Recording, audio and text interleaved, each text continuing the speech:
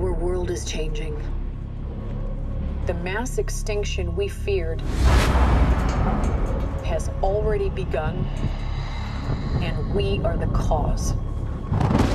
We are the infection.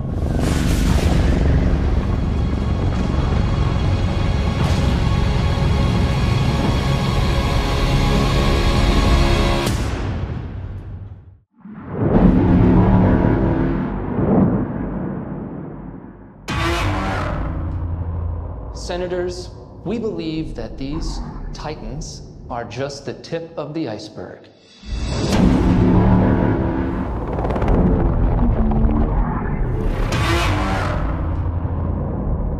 Which of these titans are here to protect us? And which of these titans are here to threaten us?